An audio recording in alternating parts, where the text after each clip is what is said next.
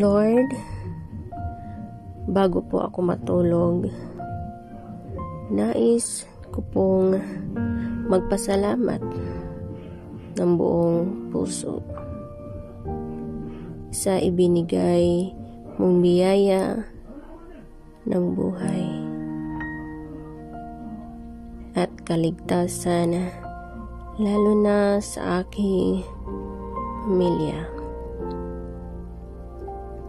Naway, sa aming pagising bukas,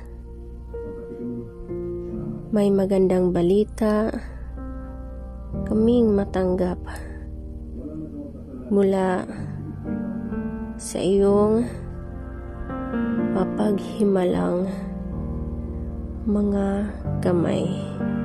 In Jesus we pray.